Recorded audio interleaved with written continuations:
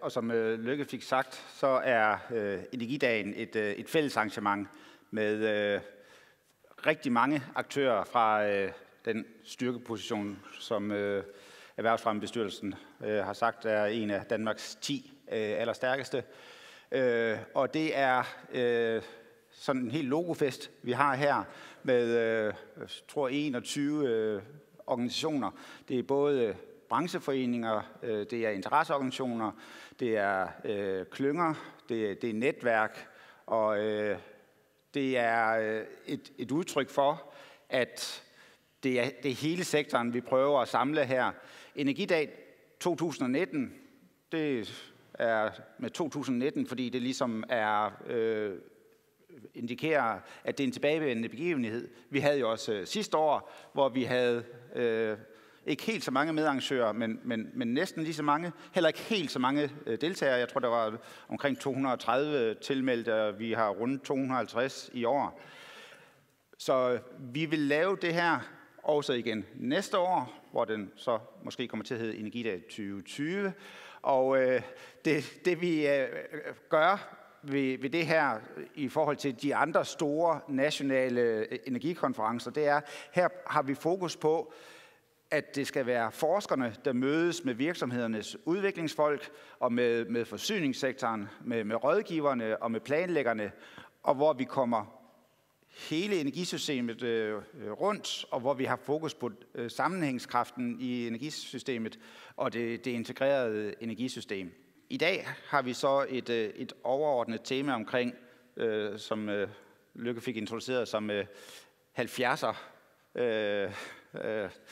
eksperimentet. Øh, og øh, vi får øh, blandt andet øh, Claus Møller fra, fra Siemens til at komme med et indlæg omkring, det er ambitiøst, men det er ikke umuligt. Det kræver bare, at vi kommer i gang, og at vi ikke bare taler om det, men vi kommer i gang med at gøre det, og vi skal i gang med at plukke fra de øverste hylder, og vi skal sætte vores øh, forskellige løsninger sammen øh, på nye måder, så det kræver også masser af innovation. Og som øh, vores energiminister også sagde, jamen, vi, vi kender ikke alle løsningerne endnu, men det er derfor, at vi har så mange gode, kloge hoveder samlet her i dag til øh, at være med til at snakke omkring, jamen, hvor er det så, vi skal sætte ind med innovation, og så skal vi blive bedre til rent faktisk at vise de løsninger, vi har, sådan de kan komme i anvendelse øh, ude i andre steder end bare et lille hemmeligt øh, demonstratorium.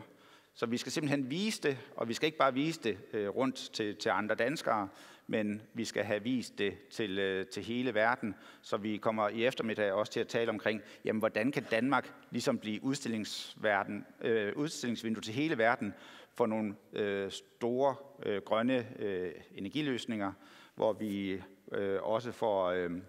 øh, Anders Hoffmann fra øh, øh, Klima- og Energi- og Forsyningsministeriet øh, til at fortælle lidt omkring øh, arbejdet med både regulatoriske frizoner og med øh, de her storskale øh, grønne øh, demonstrationsområder, fordi vi skal øh, have virksomhedernes øh, fremmeste produkter vist frem på nogle øh, nye kombinationer, og hvor vi har hele sammentænkningen mellem elgas og varme, imellem energiproduktion, øh, konvertering, distribution, lagring og et effektivt, øh, fleksibelt forbrug. Og øh, det har vi brug for en aktiv debat i blandt jer ude i løbet af hele dagen. Så øh, efter de forskellige oplæg, der, er kommet, der kommer her i løbet af dagen, vil vi rigtig gerne have, at øh, der både kommer spørgsmål og kommentarer og debat, og så har vi øh, i eftermiddag et par runder, hvor at vi skal ved bordene diskutere,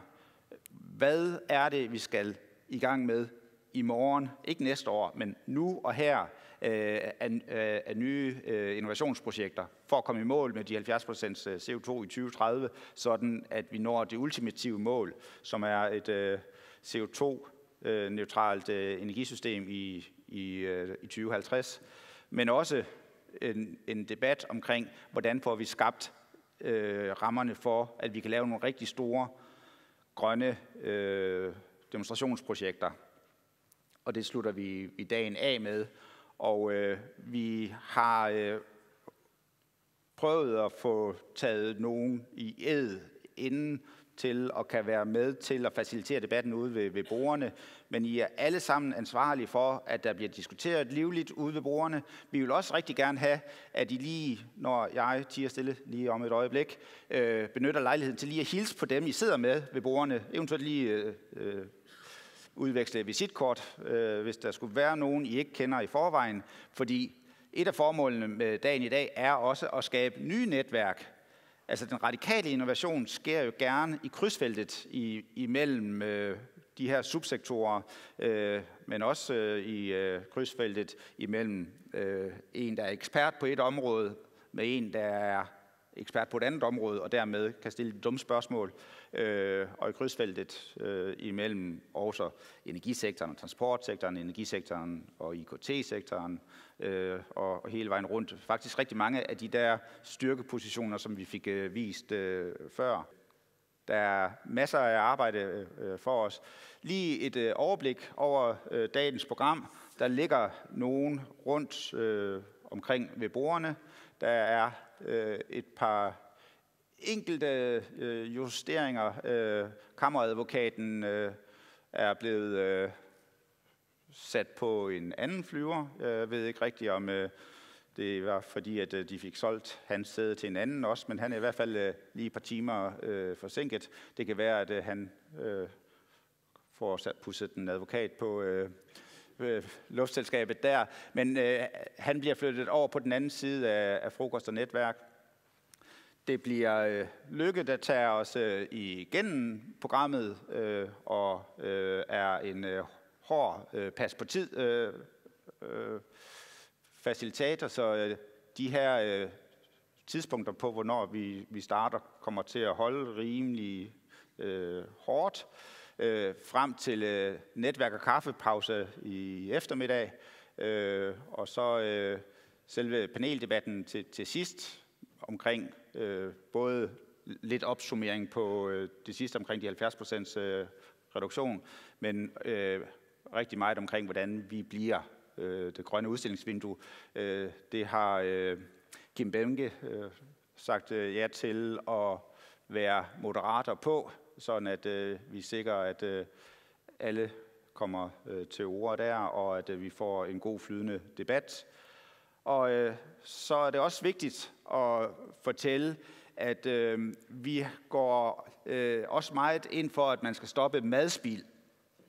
Så øh, det aller sidste øh, punkt, netværkshotdog og fadøl, der vil vi altså gerne have, at de bliver hængende indtil fadelsanlægget er tomt, og der er ikke flere pølser tilbage, og der ikke er mere at snakke om. Så øh, der er også en indsats at gøre der aller sidst på dagen. Yes, men øh, det var lige øh, en, øh, endnu en gang en stor tak til alle medarrangørerne, som øh, uden dem,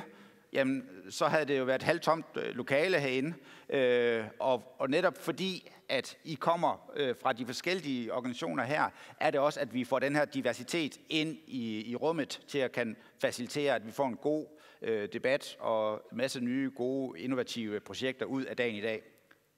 Yes, det var øh, mit øh, der udløb der.